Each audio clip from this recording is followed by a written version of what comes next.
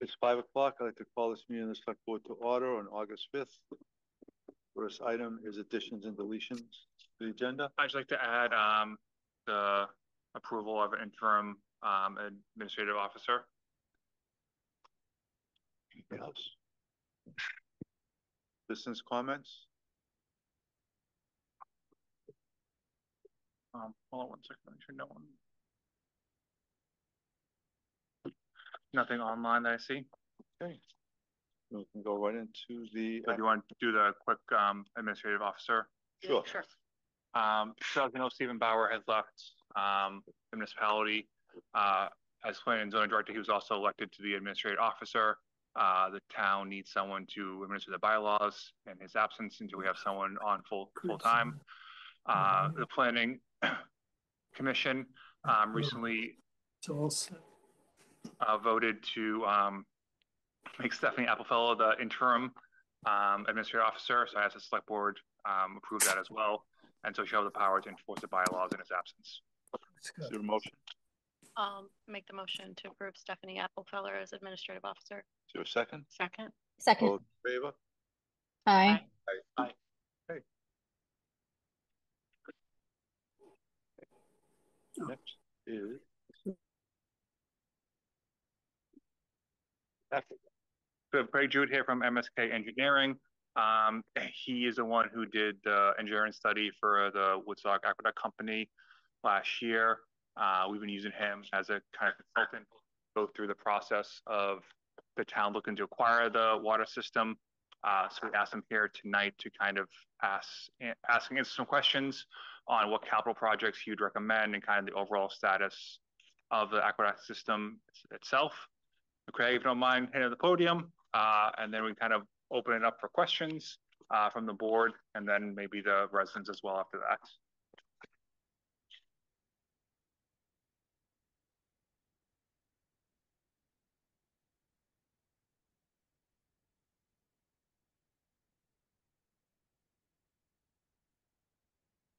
The town is muted. Oh, Sorry. Why is that? hap- No, I, okay. did I do it? Is everyone, we're all green? Yeah. Okay, Carrie, can you hear us? Yes, Okay. Okay. Sorry about that. Um, so I was hired, uh, by the Aqueduct to develop a preliminary engineering study, uh, related to the water system. Uh, mainly to identify and address, um, potential improvements that could be made to upgrade the water system and the hydraulic deficiencies during certain fire flow events. Um, the, the engineering study took a look at the uh, water system as a whole and came up with um, several alternatives to consider. And the proposed alternative slash project to come out of that was uh, transmission improvements from Cox District Road, where the current water storage tank is, to uh, along Route 4 uh, to the bridge, and to also consider and identify a um, new water storage tank uh, site, and if uh, land could be acquired, uh, design, permit, and construct a second tank um, on the water system. Those two alternatives together um, address the deficiency concern uh, that the state had. Um, the engineering study did not look at the water system as a whole to look at uh, longer range capital improvement projects that could be considered or should be considered. Um, but I certainly have reviewed enough of the system to be able to talk about that um, in some preliminary detail. Um, if there are questions related to capital improvements beyond uh, the projects identified in the preliminary engineering study. Um, if I could, could you kind of describe um, what the cost would be to get the water flow up to an adequate place? And also, are those projects just to get us above the state regulations, or is that enough to also have new connections at the same time? Um, I don't remember the exact number in the report, and I apologize for not having that in front of me. I believe it was in the neighborhood of uh, $10 million to do the transmission line improvements and to um, build a new storage tank. Um, there were some assumptions with the storage tank, seeing how none of the land is owned by the town um, or the aqueduct. Um, so there would be some sort of negotiation and third-party cooperation that would be necessary for any of the tank sites involved. Um, that was the first part of your, oh, the second part of your question was that would bring the deficiencies up to current standards. That would allow for future connections. Um, it would allow for other projects to be developed that require fire flow, um, uh, fire suppression systems or fire flow, uh, in front of their properties. Um, it, it would allow that, it would not address the older water mains that are still in the ground, uh, from the original construction of the aqueduct company. Are you looking for my number? Yeah, I'm looking at alternative. I, I can, I can confirm it. Yeah, This this- this is a nine. but- Yep, we had a project cost of, uh, just under nine point two million dollars. What page are you on? Uh, this is page forty-one of the report. It's in table forty. And that assumes alternative one B and two, one B being the transmission main and two being the water storage tank replacement. So that's on page forty-one of the report. Table forty, it's actually listed as the effective annual user rates, effect on annual, annual user rates. The project cost is listed there. It's provided in some further detail uh, in previous sections of the report, but it's just under nine point two for both uh, improvements uh, identified. And do both of these projects need to get done to get to the adequate position we need to be, or could one of them? So alternative one B will address a majority of the issues, but it will not bring all hydrants up to compliance. It's a, it's a matter of how many fire hydrants would be quote unquote deficient from the state standpoint. Um, one B would address the majority of the concerns, and there are alternatives to address the remaining fire hydrants that are not up to standard. Um, and, and ways to mitigate that. So I don't want to say that they have to be done to that satisfaction. Doing both of those projects will bring all fire hydrants up to current standards. And it should be noted that the condition that we're talking about um, has been um, the same way since the last storage tank was built. So this has been a deficiency that the town or that the aqueduct has been under for quite a while, and the town and uh, village have found a way to do fire suppression. So I just want to be clear that there's the, the rule and the regulation related to standards versus um, ways to get around some of the uh, hydraulic deficiencies of the system currently. And what are some, what would be some of the options under one B that wouldn't be the tank? So one B would be a new transmission route from the current water storage tank on Cox District Road down Cox District Road, which would replace the current cross-country transmission main, which doesn't go down Cox, Cox District Road, and upgrading the water main that's along Route Four. Um, that that is essentially one B. Um, and can be a standalone project. It is not required to be done in conjunction with the tank. And the town could certainly take a long range uh, look at the projects. That's certainly an option that's available to them. Um, I, uh, DEC would be encouraging of any improvements to the system and fully understand if uh, $10 million worth of improvements was a lot to uh, do in one chunk. Uh, so long as there's improvements towards making this less deficient, um, I think they would be supportive of that.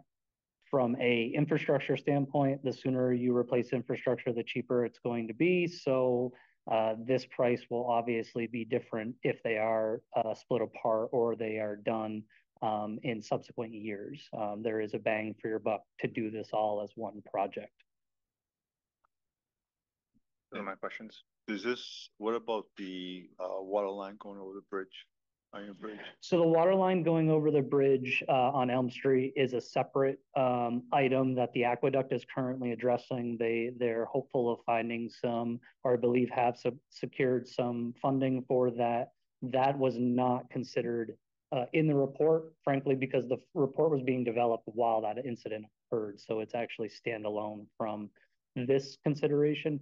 It will not address any of the um, deficiencies related to the fire hydrants themselves. Um, I note in the report that thirty percent of, there's thirty percent water loss, which was a surprise. Um, Will the, um, one A and one B, I know you don't have a crystal ball, but will that tackle? It will, majority of s- that? mm, I wouldn't say the majority of it. If I had to guess and look into a crystal ball, I would say the majority of your water loss is in the village proper where most of the water mains are over hundred years old. Uh, that is likely where you're getting most of the water loss. Certainly haven't done any sort of study to, to pinpoint that. Um, I would also point out, unfortunately, for most of the water systems in Vermont, thirty percent isn't that large, actually. Um, there are definitely ones we've looked at 50, 60, some even hundred percent water loss. They just don't pay for their water, so the water they lose doesn't cost them anything. Right. And then, since I have the, floor, it's okay. I noted, um, your report talked about, you know, that the, the existing tank was due for inspection and we got those reports. And there were, um, recommendations totaling thirteen thousand four hundred. I'm wondering if those were made. Um, I have not talked to the aqueduct about that. I'm assuming that that is, um, moving forward, but I am not directly involved in that. And do you know if the well that was in the, identified in the report was actually completed? So I believe the well has been drilled. Okay. Um, I, and I don't believe it has gone all the way through source testing. The aqueduct is using another consultant to do the source development test for that. But my understanding is, is that is proceeding, um, but will only replace one of the existing, uh, sources for the aqueduct. It won't be a supplemental source. It will be to replace one of the existing, uh, gravel pack wells. That's my question. I asked your question. Yeah, about the tank. That's okay. So if we do these repairs, is that gonna increase the pipes Pressure. breaking the village? So there is a concern, and it was raised during the review of the report, that increases in main size from the existing water storage tank will increase the velocity of the water running through the distribution system. There is a concern that that increase in velocity will lead to more breaking of mains. Um, I would say that that's something that needs to be considered when talking with the fire department about hydrants and where on the system we are and how quickly we can open up a hydrant in one location versus another. Uh, but that is, that is a, a, a concern by increasing the velocity. Um, it will also be the case with the tank that the velocities would increase as well. So that is a long-term concern um, related to the older infrastructure and the older water mains. So to me, it would seem to do the Cox, District Road pipe is something we could do relatively quickly because we'd have to secure property, permits for the tank and everything else. Is that correct? I- I- Correct, and if and when the town were to move forward with that, and assuming that they were looking for um revolving loan fund money from the state of Vermont, the suggestion would probably be is to treat it as one project from a design standpoint. And if those schedules uh diverge because of negotiations with the third party or that um those sorts of things, they can be split um and can be permitted uh separately. They could also be uh permitted together and then broken up separately after construction. Uh, the reason I would suggest doing it as one design project is actually related to how long it's taking to process financial documents, the planning loan applications. It is a loan process. It goes through a underwriting process, so you guys would be right in with everybody else in the state, um, looking for planning loan money. They are absolutely inundated, um, which used to take six, eight, maybe ten weeks is taking three to four, five months, even longer. So with that in mind, um, there may be some advantage to doing the design as one project with two different deliverable dates, depending on how those go. And then that leaves you options available to either bid it and go out to construction as one project or split it into two if there was some advantage in doing so. Craig, it's been a minute since we talked about um the lead inventory, which I know is getting published in October, but you said last time we met that it's just best to assume that it's there because the pipes are My, so, true, uh, so my understanding and, uh, the aqueduct is doing their inventory on, um, on their own internally. I have not talked to the aqueduct or seen their inventory. Uh, the last time I spoke to the aqueduct, their records were sparse and they anticipated a lot of unknowns, which generally, as far as the state is concerned, means it's lead until you prove otherwise. Yeah. So there will, I would anticipate a subsequent phase of identification related to lead. Um, they call that the step two process in lead. And there are certain manners, uh, and procedures to go through to help take that list and, and work it down. So, uh, how would I, how I would anticipate this going is that the inventory would be submitted in October. Um, it would be initially reviewed and approved by DEC. That does not mean that that couldn't be continually updated as more information comes in. But then there would be a second round of hopefully state funding to do the further identification part. And the key point with that is, um, is that the town has access to that funding where, where the aqueduct as a private company would not. Okay. Um, so that's an point, important point that well, we do consider and anticipate further money being there for step two, and that the town would have the ability to access that where the aqueduct would be limited or potentially not have any access to that at all. That's really helpful. So we would essentially just need to provide the staffing to get it done. Correct. You, and that can be done either internally, um, it could also be hiring a consultant. It's a matter of the approach that's taken to do the identification. Yeah. And that's a system by system discussion as far as the most effective approach for a given system, not a kind of one size fits all approach. In terms of how other towns are dealing with that, I imagine we're not the only one that has like old pipes and old infrastructure, but if it's not tied to like one of these projects, are other folks replacing those just as they break? Or are, is, is there kind of a strategic way to go about thinking about replacing? So the way EPA is requiring it, I believe it's a percentage and I can't, think it's five percent, but I, don't quote me on that. There's a certain percentage of your unknowns or lead containing lines that need to be replaced annually to be in compliance. So essentially, it's a long range plan of here's what you've got and um, you go forward with it. The, the the other point of that is there's a bunch of money over the next three to four years to do that. And then after that, it could potentially be an unfunded mandate Okay, um, by EPA. So timing of all of that and being on the front foot with that while the money is available over the next three to four years is, is pretty critical. so if we can front load that work, it would be beneficial as opposed to waiting, and then we would have to figure out how to budget that within the, the maintenance costs. of- Correct. And I would anticipate that the state through the revolving loan fund will have a similar uh, financing program to help municipalities with that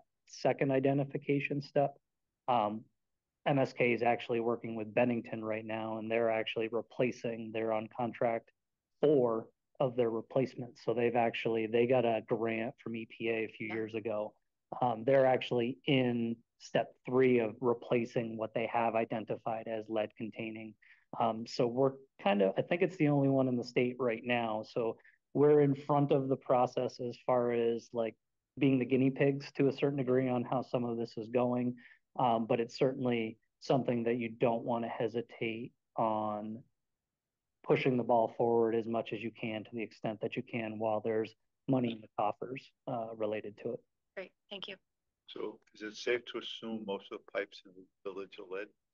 I would not make that assumption, actually. Um, outside of Bennington, and I don't have the exact numbers, I, MSK has found very limited lead containing lines on water systems, a lot of unknowns, so those are assumed to be lead. Um, but the number of lead containing lines outside of the North Bennington or the Bennington area, excuse me, um, has been very, very limited, actually, surprisingly so. And, and that's one of the reasons the state forced everybody to do this first step as quickly as possible. They wanted to see how much of a problem they actually have. And if they can target their money that they have available to the communities that need it, that allows them the flexibility to do that because that money is specifically for lead uh, service removal. So their identification step for the second step will be uh, water quality sampling, trying to identify through sampling or digging potholes and looking at people's material uh, to try to identify how that gets done. But to Ray's point, that also doesn't mean that just because they're not lead, they don't need to be replaced. Like they they could be made of materials that absolutely need to Correct. And, and so the the caveat I will say with that is the part to keep in mind is you guys will own if if the town took it over, you'll own to the curb stop. You don't actually own the what they call the customer side of the line from the curb stop into the building. But EPA says you're responsible for that if it's lead containing. So there's money to replace that if it's lead containing. If it's old and you guys want to replace it, that there's not federal money available to replace that line. Now, there may be a discussion with the landowner that it's in everybody's best interest to replace that line. Less leakage for you, better material for them, but there wouldn't necessarily be funding for that purpose. So it's just a separate bucket and a separate conversation. But to your point, yeah, if you if you are digging these up and you identify that it's uh, something other than copper, uh, and you'd really like it out of there, yeah, now got a contractor there, you got somebody digging, no time than than now to to do it. But there wouldn't be federal funding unless it was a lead containing line.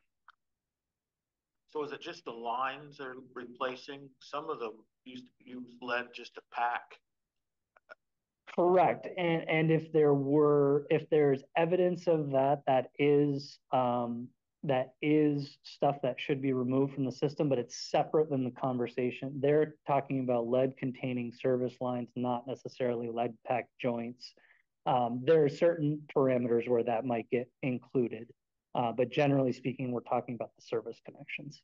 So if there was like just a lead pack joint, do they just replace it with something else? You got to replace the whole pipe then That's a good question. I'd have to defer to one of my colleagues on that because I believe the lead packed joints do not qualify as a lead containing component, as nuanced as that might sound.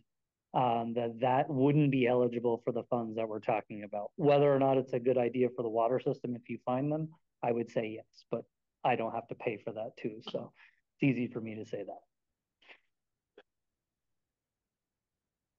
Um, we have some questions online, but I don't know if the select board has any more questions. Um, hold, hold on one second, but and then we'll go to um, everything you discussed tonight and the cost and the need for it um, can be overwhelming. Um, but whether the town owns this water system or the aqueduct continues or these things still need to happen regardless of who Yes, um, and, and I think I've hopefully been fairly consistent about that and all the times that everyone's heard me speak about this. Um, the users have to pay for these improvements. The idea is, is that hopefully the users can be put in the best situation possible. And that really means accessing low interest money, which can only be done through municipal ownership. The aqueduct as a private entity uh, cannot receive revolving loan fund money uh, rural development money. And when things like the Elm Street Bridge happen, they can't access FEMA money uh, without jumping through a lot of hoops um, related to that, which obviously slows down the process. Um, so yes, these improvements are going to need to be done regardless of ownership.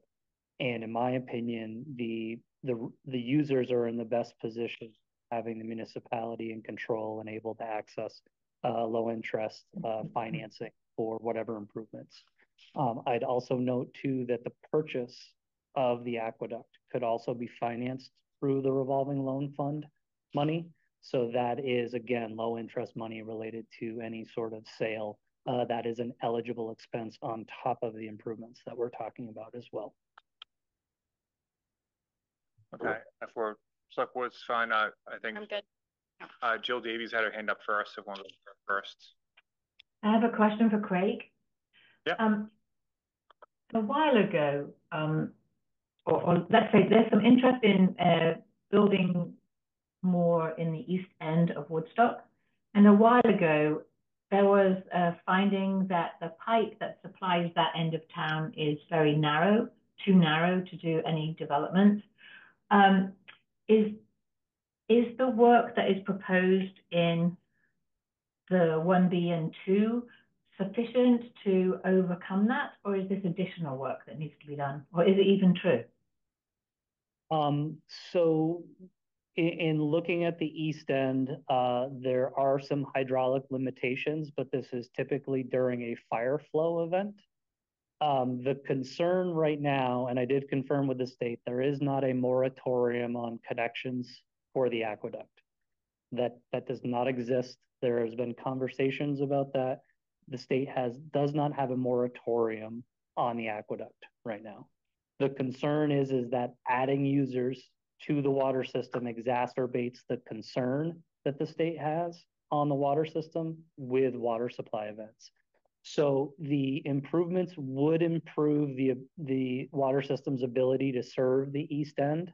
Whether or not that could be further improved would be a discussion based on what type of development would be considered over there and what other improvements might need to be done.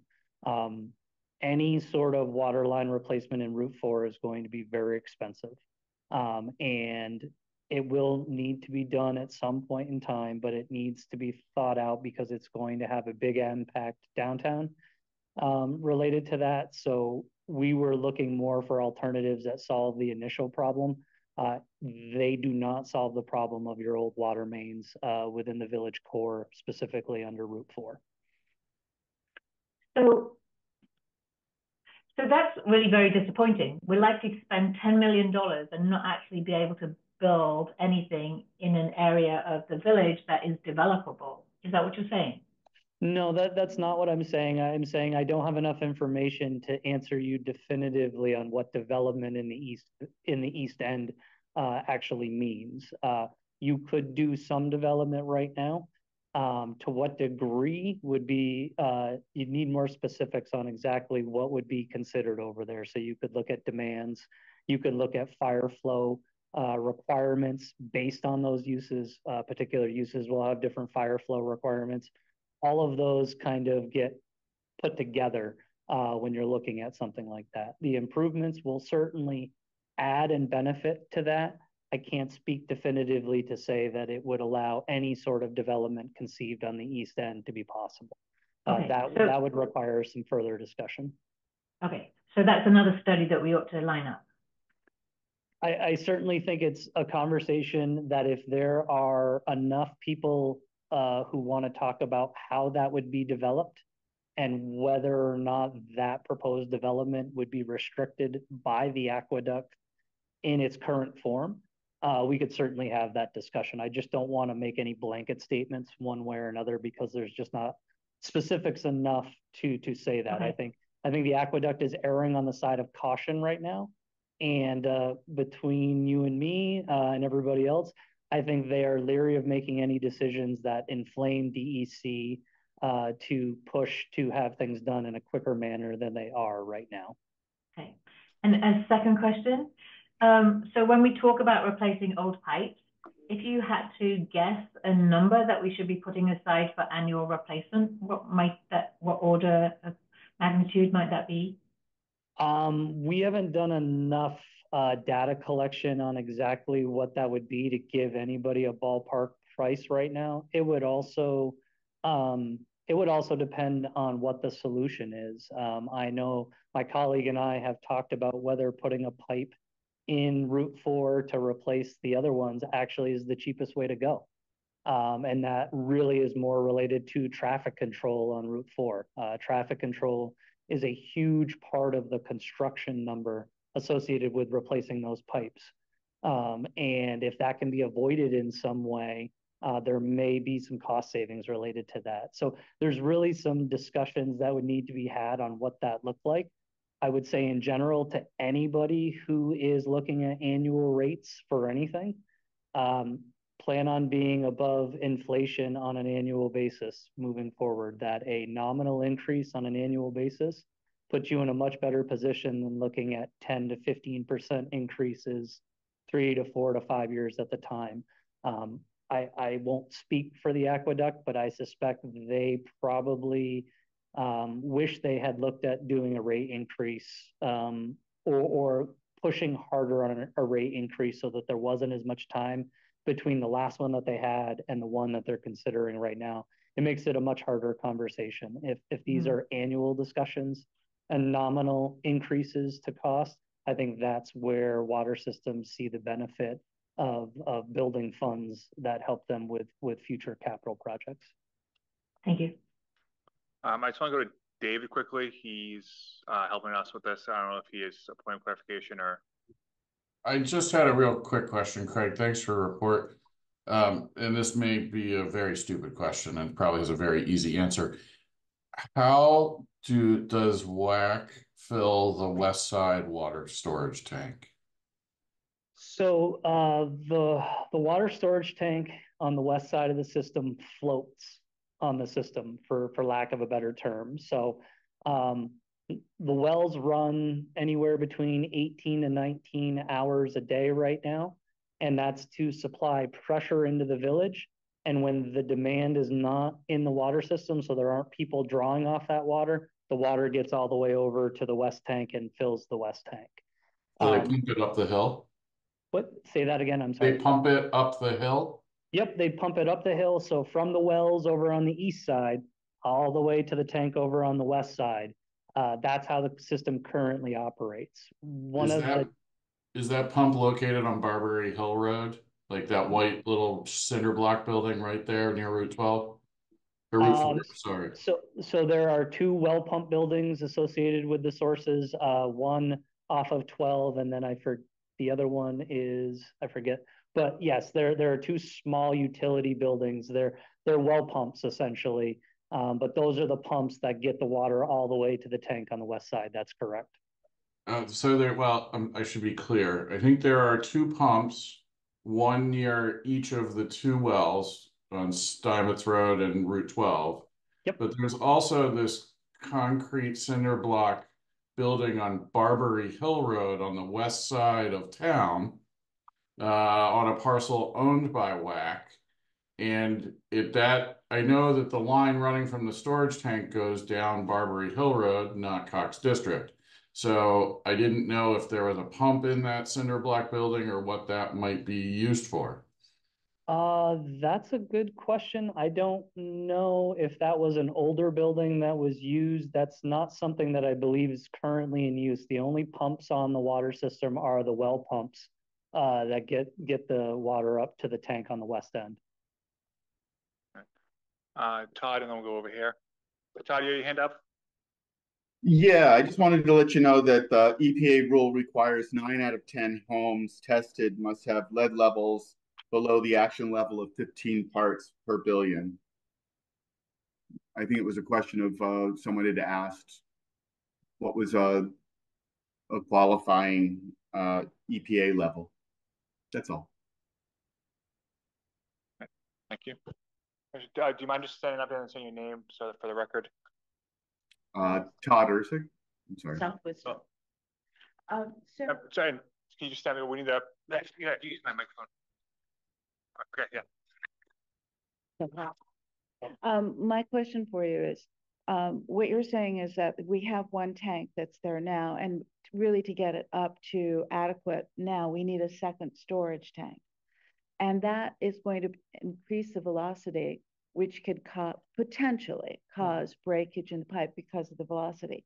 Now, I know part of that is because we also need to have, and I don't know what the terminology is, but it's for the fire, um, hydrants system. Mhm. Is the fire hydrant system currently its own flow system or are those each connected into the house systems? So the fire suppression system is integral and connected to the potable system. So they're extensions off the potable system. There are not two separate systems for those purposes. That's too bad, Hmm. because otherwise you could possibly tamp down the velocity of the house systems and maybe leave the other, but you can't do that. It would require a lot of extra pipe uh, to separate the two systems. Yeah, they, they Okay, are. they all right, that's what I wanted there, there. Tom Ayers has a question. Yeah, I, I just had a quick question of you, Eric and Craig. Um, is there a copy of the report that uh, has been referenced posted anywhere publicly yet, uh, or how might I obtain one? Um, yeah, I believe it's on our website uh, under um, where we have information with the aqueduct. Uh, let me just Okay. confirm it was on there originally. All right, uh, so this is a new, a new report that is being referenced this evening, though, Uh, correct? no, this report's been public since I would say last fall. Uh, it Oh, was okay. approved, it was approved by DEC in January. Okay, it's Or, the uh, I'm one sorry, in the same report then. Yep, All right, it- it's I- the same report. I appreciate that. I, I wasn't clear if there was a, an annotated report or an uh, amended report or whatever, so thank you. Yeah, Tom, on our website, the ninety percent report is, is on there under the uh, Aqueduct Company tab. Excellent. Thank you much. Appreciate it. Are there any final questions for Craig while we have him? In the audience. Oh, yep, Jeremy, do you want to come up to, just say your name at the podium and your question? Uh, Douglas Keller. So I have a couple of questions. Uh, you mentioned a couple minutes ago that if you didn't have to control traffic on Route Four, it'd be a lot cheaper. Does that mean you think there might be some diagonal way to get from the tank to where it needs to connect across private property possibly? It might be cheaper? Um, no, I was actually referring to if, if and when, uh, pipes within the village need to be, uh, replaced, that it may not actually be cheap, it may be cheaper to not put it right back in, uh, on Route Four. It was, it was more related to the cost of that. The pipes, um, the water mains in the village, specifically in Route Four, are somewhere in the neighborhood of ten feet deep. Uh, because of when they were installed versus what the existing road grade is now. So the depth of that and the time that it takes versus the money being spent along traffic control makes looking at other options that might seem a little out of the box, uh, a little bit more possible. Okay, so you have to go down from Cox District Road to Route Four and along to where it needs to connect. Correct, and the advantage of doing that is we leave the other transmission main in, so if there was ever an issue, it's a, it's a secondary means of getting water into the water system. So we have two pipes instead of one, so we Right. leave the existing transmission main, put, And have a put the new one in the bigger road- one or an in the additional. road, correct. So as far as fixing or replacing the tank, can you just make a bigger tank where it is and solve the problem, or is that more So, money? To the point, uh, before about where the water storage tank is on the tank, that's not ideally where a water storage tank should be. The closer it is to the sources, the better and the easier the system can operate. So one of the benefits of building a new tank is to actually put it on what I would call quote unquote the correct side of the system. The closer we can get it to the east side and to the wells, the wells are now pumping into the tank and not pumping into the water system to meet demand. So it doesn't have to be on a hill, in other words. Uh, it does, it needs to be at a certain elevation, similar to Cox District Road hydraulically, but there are areas we've identified over East End and then a couple of other sites more in the, the middle part of the town slash village, um, where we would have the same gradient, the same elevation to do so. There are certain benefits to some sites than others, but we identified four sites where that would work. And what that allows, hopefully, is that the sources would just be filling the tank, and then the tank would be meeting all the demand on the system, and we could actually shut off the wells uh, a little bit more often. If we built a bigger tank, that's certainly an option. Um, we were looking to build something of a similar size to be a straight replacement for the existing tank that does not preclude anybody from proposing a larger tank to either increase future capacity or to um, improve fire flow conditions even, even more so uh, throughout the system. And then the intent would be is that eventually when the west tank needs to be decommissioned, it can just be pulled off the system. Uh, it doesn't have to necessarily be reconstructed or replaced. Right. Um, and then the new tank feed out to the west end and meet distribution pressures um, out there. So essentially, the new tank serves a couple of different purposes. It allows for easier, hopefully cheaper operation, but also is a is a way of replacing the other tank sooner, and you get the benefit of both tanks for as long as that other tank is, is useful. But we don't have a spot to put a new tank. Uh, we've identified four spots. They're all privately owned spots. Um, the ideal spot is actually, uh, Mount, uh, Mount Tom. And working with, uh, the the federal government to put it in the park. Um, which isn't as bad as it sounds, but that's ideally the best spot because there's a twelve inch main that runs right by the park and would allow us to hook the tank in and outside of a handful of users, we would set up the situation where the wells are feeding the tank and the tank is feeding the rest of the system. Thanks. Yep. So, yeah, see any other questions? So as always, thank you for your time. We appreciate all your information. Anytime. Thank you.